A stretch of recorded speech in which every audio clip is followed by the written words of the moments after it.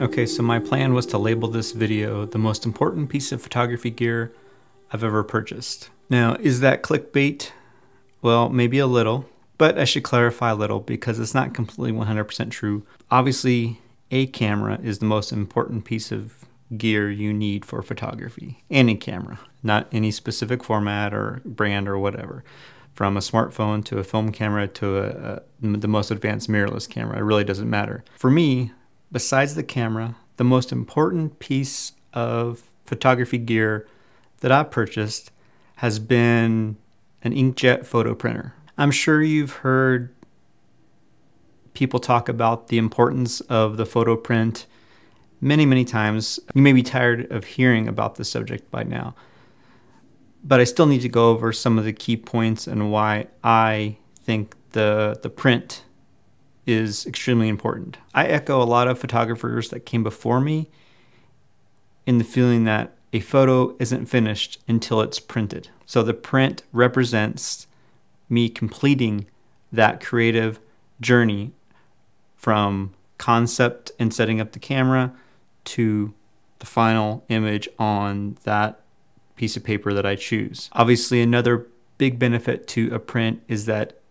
it's not reliant on any technology. It's not reliant on power to view it. It's not relying on any sort of uh, display. It's not relying on file format or compatibility or social media or anything like that. The print is self contained and you can experience that, enjoy that, and share that with others, and they can experience it as well without any need for outside um, elements. Another thing I really love about making a print is that it is a tangible, physical piece of artwork. It sounds obvious to state that because we all know what it is. But when you think about where we are in the digital realm and social media and smartphones and tablets and things, where we consume almost all kinds of artwork digitally and not see any physical representation of them, having an art form like photography that we can go from a digital capture to a piece of uh, a piece of physical art form is a pretty awesome uh, thing.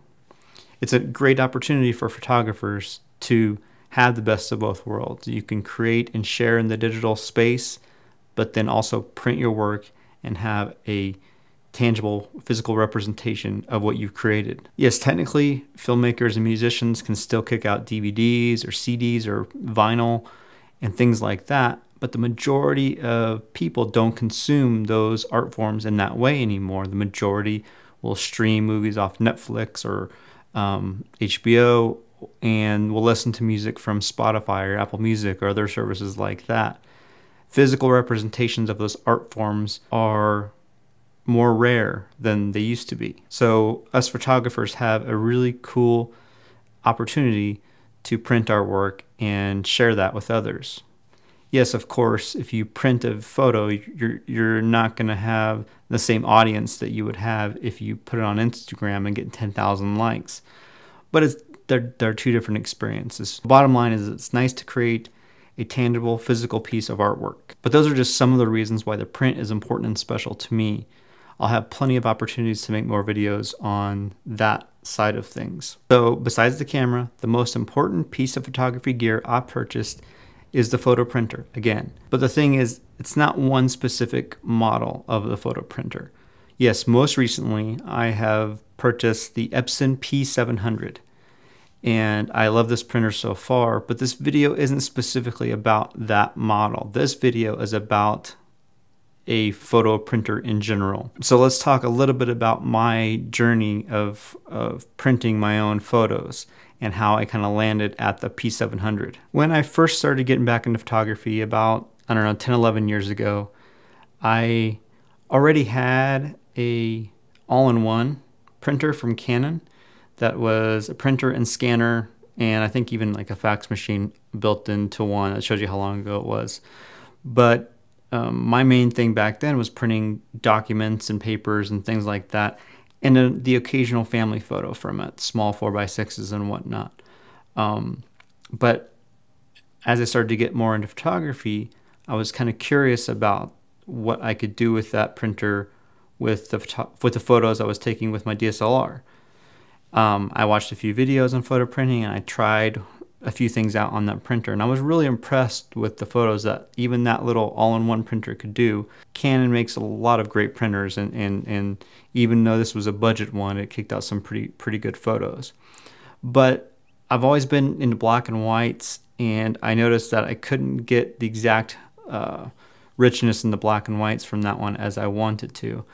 But that all-in-one printer kind of just got me thinking about uh, expanding my printing capabilities. So I started looking for an, uh, a dedicated photo printer and landed on the Canon Pixma Pro 100, which I've made videos on on this channel. And that printer served me extremely well for about seven years. I printed everything from family photos on it to uh, my portfolio images on it to photos that I even displayed in some local art galleries as well. So I got a really, really good lifespan from that photo printer and made the most of it. When I got that printer, I didn't know a ton about um, all the specs and all the differences between the professional photo printers, but I, am lucky I landed on that one because it was a great starter printer and it helped me learn about the process of, ink, uh, of printing photos on an inkjet printer. And then just recently, I decided I wanted to upgrade to something that had pigment inks and that was a little stronger with the black and white uh, prints. I did a lot of research, and um, when I was ready to buy, I listed my old one for sale and found a local buyer that was a, another photographer just getting into photo printing, and that fit his purpose perfectly. So I was really happy that my Pixma Pro 100 went to another photographer who was learning, getting started, and, and he'll be able to use that printer for a long time as well. So as I was researching for what my next printer would be, I uh, knew the black and whites were like my priority. That was the main thing. So I did a lot of research on what the best black and white printer would be in my budget. And from basically what I found is that the Canon Pro 300 and the Epson P700 and 900 were all really, really close. I think uh, you could find people that will choose one over the other. I'll make another video uh, talking specifically about the 300 versus the 700, P700 and why I decided to go with the Epson. I know some of you have asked. And the bottom line is they're both great. You can't go wrong with either. I decided for me, based on a handful of factors, and some factors may not even make sense to you, but for me personally, the Epson P700 fit everything I was looking for. So that's my current photo printer the Epson P700. So yes, from now on, all the printing videos and subjects I talk about will be based off that printer, but um, I love the Canon stuff. Who knows? Maybe someday, if I'm if I'm printing enough and making enough money from my prints, I will have both brands, and I'll be able to utilize the best of both worlds. Let's step away from the inkjet printing world for a second and talk about darkroom printing. Part of my journey during these past 10 years has been an intense dive into film photography, as much and if not more than digital photography at times. To summarize a little bit of that journey, it started out as me eh, getting a Canon Elan, shooting film on it, sending it out for processing, and learning a little bit that way. And then I went through the whole journey of processing the black and white film myself, and then eventually printing the black and white prints in the darkroom myself as well. So I was doing the whole process from capture to darkroom print with my black and white film photography. That darkroom portion of my journey was basically during COVID times, mostly the past two years.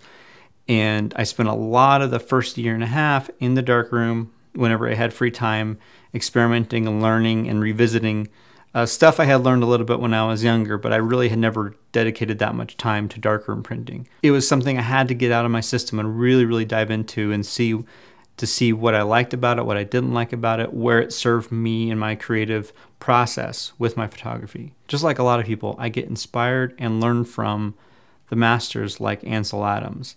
And three of my favorite photography books are The Camera, The Negative, and The Print And since we're talking about the print specifically in this video, uh, I'll reference a little bit of this book. This book, just like the other two books, talk about the art form in terms of what each uh, element, the role each element plays in the process, but it also talks about specific darkroom tactics and strategies and approaches.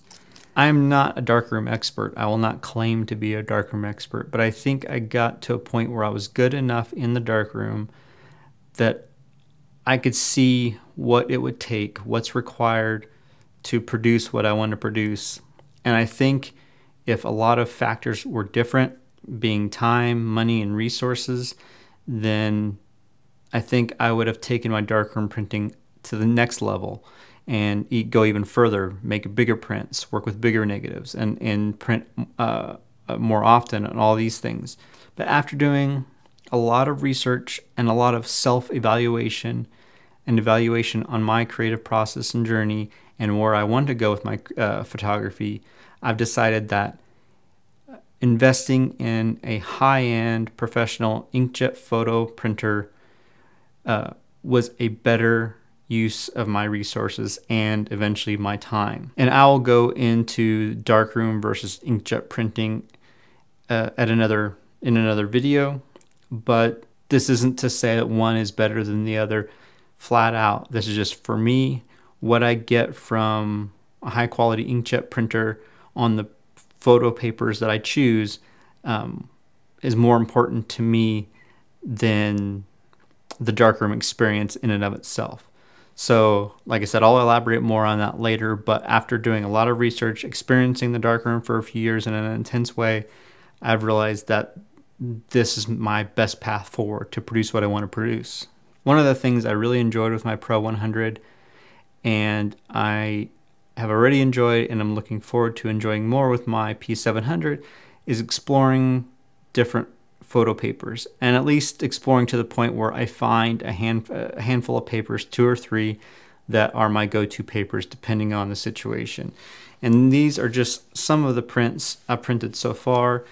Uh, some of most of these papers are from Hahnemühle, and they are uh, some are bright, Baryta, some are pearl finishes, and each just has a slightly different look and surface to them. And what I'm doing right now is exploring which papers fit my style for the most part over other papers.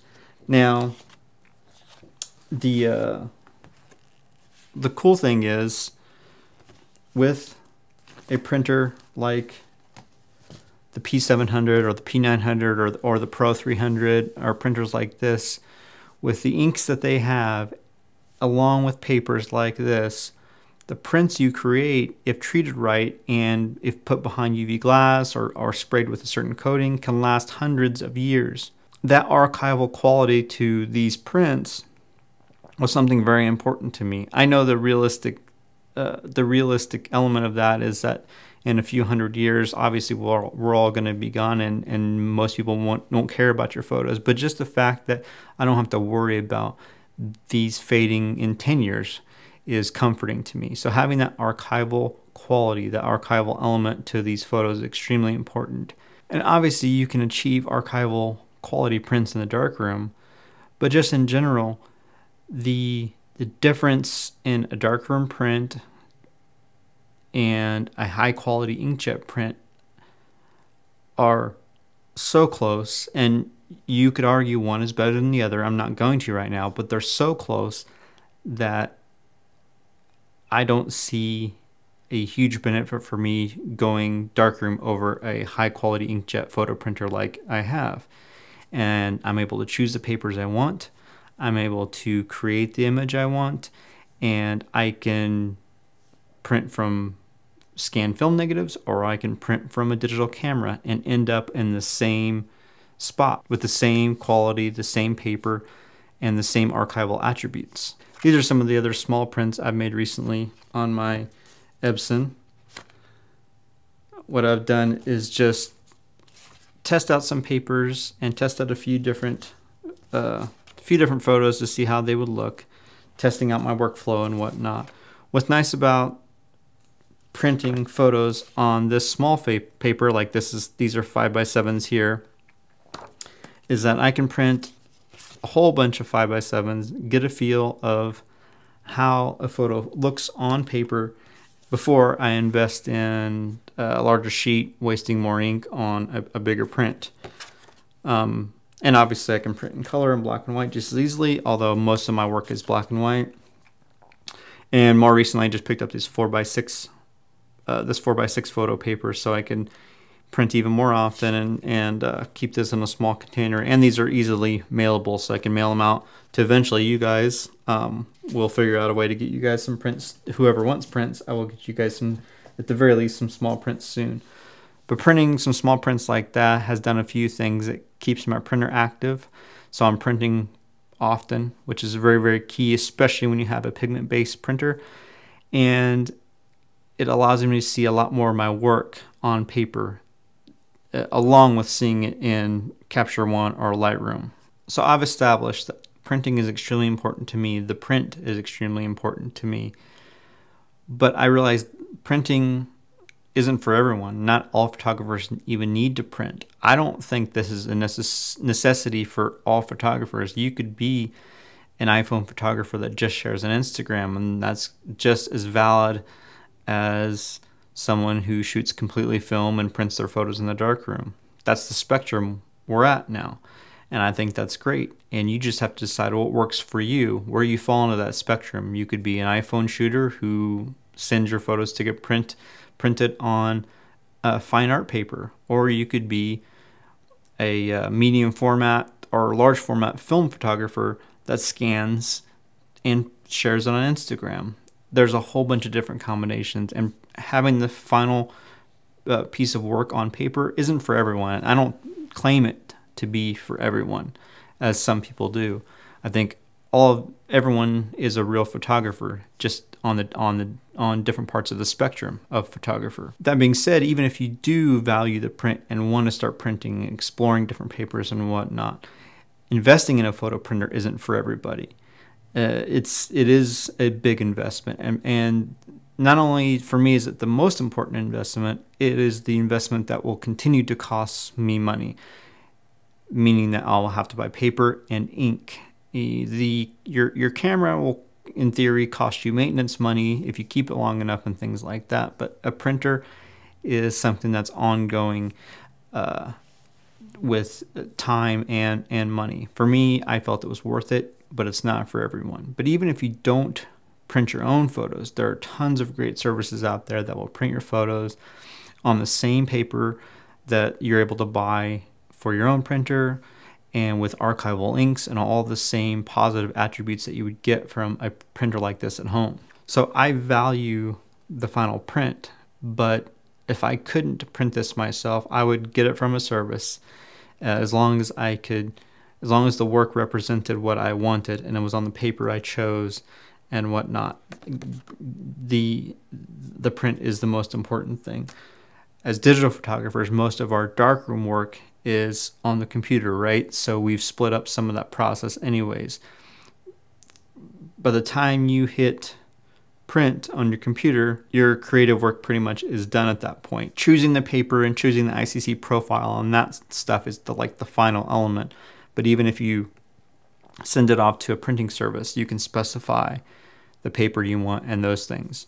So your darkroom creative work is done on the computer anyways.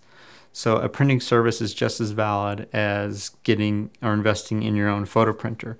So again, I share my journey as my journey is what fits for me. I hopefully it resonates with a few of you, but I know it's not the same for everyone. I think like what I said about the spectrum of photographers and how you could be an iPhone photographer or a large format photographer, and we could all end up here. We could all end up on the paper, regardless of where the image originated or the technology that was used to capture it or the specs of that camera or whatever. It doesn't matter. So whether you're an iPhone photographer, Sony photographer, Fujifilm, Canon, Nikon, film, large format, whatever, you could all end up here. The print is also a meeting point, a final destination for all of us to to uh, uh, connect with each other. We we can all make a print that feels and looks something like this. And I think that's one of the, the coolest things about the print. This is something we can all relate to and share. Uh, I've blogged recently about people getting so tribalism about specific brands or gear or formats, and how uh, even with my small uh, YouTube world, uh, I can see how that happens. And you'll see it a lot of times where photographers brand themselves as a Canon photographer, Fuji photographer, or whatnot. And although I do use Fuji and I love Fuji, um, I'm not going to guarantee that I'll be a Fuji photographer five years from now. Who knows? But I will still be a photographer and I will still be printing my photos. So those are the things we're always going to have in common. That's one of the most important things to me this year is finding these meeting points that all of us YouTube photographers and photographers can, in general can relate to and we can connect with. And hopefully my videos can find more and more uh, uh, photographers of all brands and all formats and we can have more discussions about these kinds of things. So we can all start at different places and all be at different places, but there are there are points where we all meet and the print, the final print, the print on paper is one of those places.